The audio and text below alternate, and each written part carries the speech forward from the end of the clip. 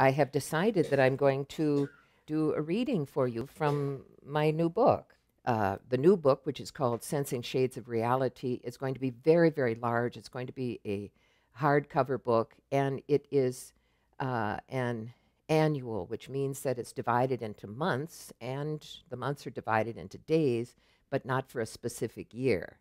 And so each month will be a particular topic, and each day in that month is a teaching uh, about that particular subject. So, and e plus each month, each month will have a, uh, each month will have uh, a, an original essay uh, that will be the preface of that. So this one isn't quite finished. It still has a couple of rewrites to do, but I thought I would share it with you. Since you're receiving a Dharma teaching, this is the subject here. And this is the essay that is prior to the chapter on wisdom, and it's called Gleaning Wisdom. Gleaning Wisdom. Sort of like in, when you go out into a field after the harvest comes through and the, you get whatever is left. Okay, so how do we, how do we gather or glean wisdom? Hmm. Contrary to what some Buddhist scholars say, we won't need to know everything to gain enlightened wisdom. The only thing we really need is the Dharma teaching on our personal very next step to the awakened state. The only way to find that is to develop a spiritual homing awareness that alerts us to that, that very next thing needed in order to continue. How we discover that magical very next thing depends upon a development of an internal spiritual resonator Problems arise when we overwhelm the true signals from inside ourselves by trying too hard to gather masses of random information. One method to respect and increase the capacity for clear resonation has been successful for many. It is the practice of sincere prayer to higher being to come into contact with the necessary teachings to become enlightened in this very lifetime. There are as many current needs as there are individuals, and the human wisdom seeking inner mechanisms are of many kinds, intensities, and skill levels. For example, someone wanders into a Dharma teaching and wondering why they are there at all comes away with nothing. This might reflect a position lower on a wisdom seeking spectrum of skills but if something happens to fall on their deaf inner, deaf inner and outer ears, then good.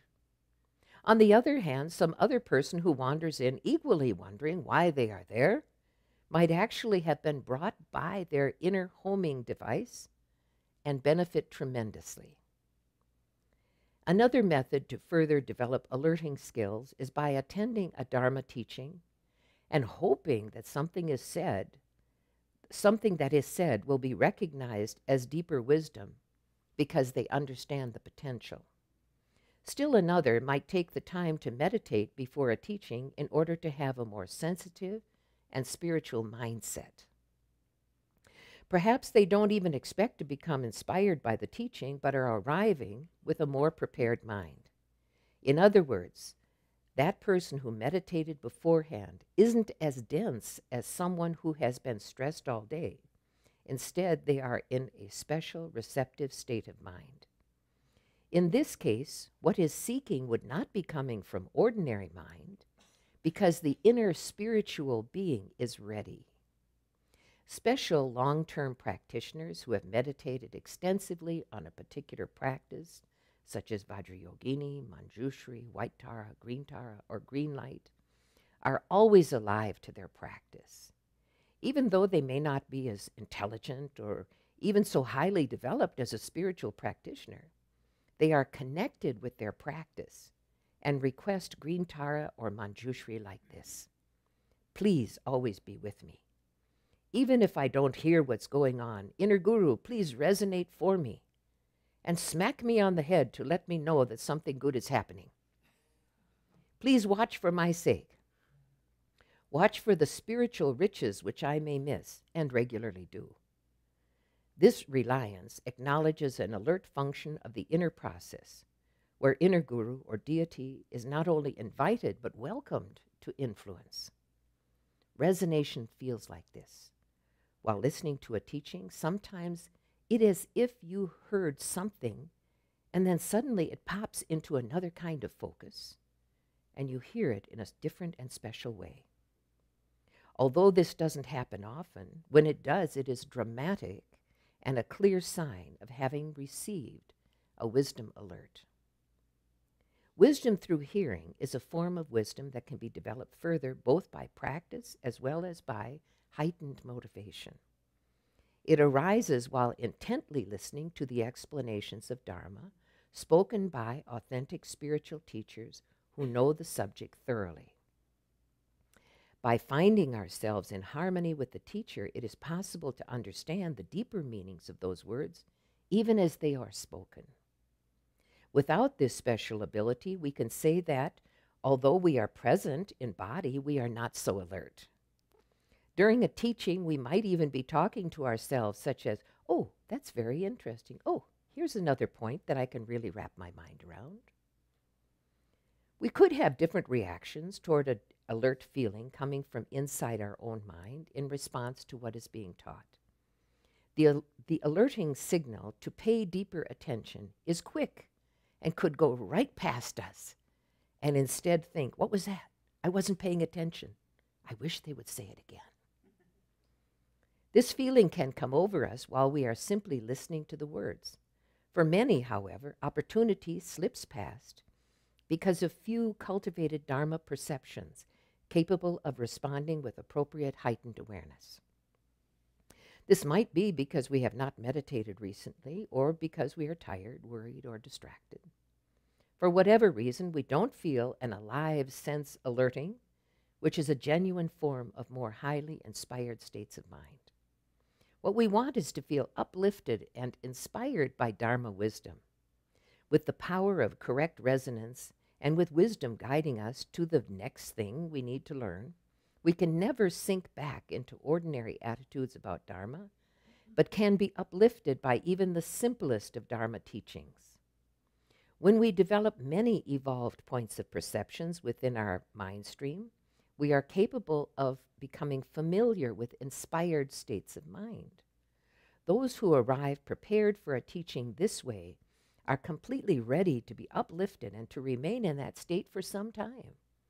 They will also experience that which is unseen to outer hearing and mechanical understanding, and actually listen to the real meanings, the inner teachings. In the same space where the teaching is happening, something else is present which is beyond words or ordinary meaning. However, words and meanings are important because they lead us into a place of inspiration where inner teachings are happening. Let me tell you a story here that actually does pertain a bit to our subject. While on my third teaching visit to Hawaii, I decided that this time I was actually going to go into the ocean rather than just look at it. As I watched folks splashing in the waves, I thought this was going to be fun. I was determined to actually go in, so not only did I wear my bathing suit, I actually took off the outer layer of clothing. There I was, ready and willing to go into the water, wearing bathing suit and no shoes. I went to the edge and put my feet in. Even though it was a bit cold, I thought, oh, I've got to. I continued talking to myself sternly. You've got to get in that water. This is crazy. You've got the right attitude. The sun is shining. You're dressed for it. And here's the ocean. Go for it. Meanwhile, people are running past me, leaping into the waves, looking quite happy. As I stood in the ocean, it came just above my ankles. I realized that because the very small waves are coming in and going out, the sand is shifting beneath my feet. I started to feel a little tippy because I really don't know how to catch my balance, and nearly fell down because this darn sand was departing from under my feet. It wasn't fair, really. The water kept coming, and the beach sand was now about five inches lower. When suddenly I decided that I really wanted to go back upstairs. With great determination, I climbed up the step of sand. Still not well balanced, I proceeded to stagger around in the few inches of water. I was while I was still wobbling around on the wet, shifting sand, it dawned on me for the millionth time that I am a whole bunch of Tibetan old guys who never had anything to do with the ocean. give me a mountain, don't give me all this water. After I finally got back upstairs to the beach, I did not go back. Okay, I severely digressed. But it is true that many people do come to a Dharma teaching with full determination to really be present and experience the inner teachings. They got washed and dressed up, drove here, and entered, entered the temple with good motivation. There's no reason that they should not be open to the inner teachings. They want not just words, not just meaning, but also the inner wisdom of authentic Dharma. In a way, the words in a teaching are like getting dressed or putting on your bathing suit while the meanings are like stepping into the water to the best of your ability. Here's how to practice listening to inner teachings it is a simultaneous process. One, listening to the words. Two, processing the outer meanings well enough so that they can be remembered later. And three, hearing the inner teachings with a receptive inner mind as best you can while listening to the words, gently understand the meaning of the words without stimulating presumptive thinking that can arouse a wrong interpretation due to a partial understanding. Next, by using the new perceptions which you have cultivated in your private meditation practice, try holding a more relaxed but alert level of your mind open to just absorbing the unspoken, energetic teachings of transcendent wisdom. It would be a pity to depart from an authentic Dharma teaching without having tried to swim a little bit in the inner wisdom offered.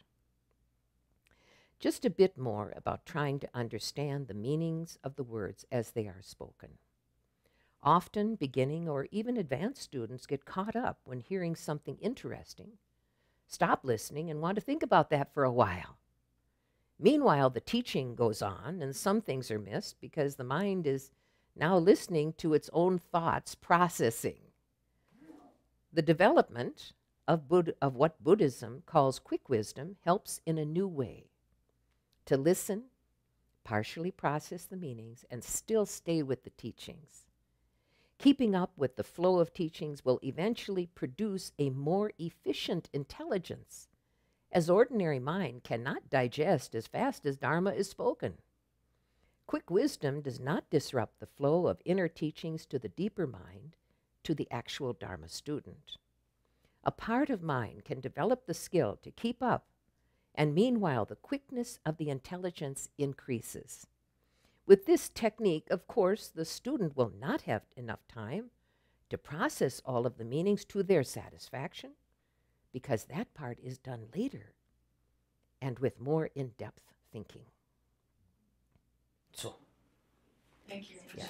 So one of, one of 12. Maybe a little long, sorry. no, no, not at all.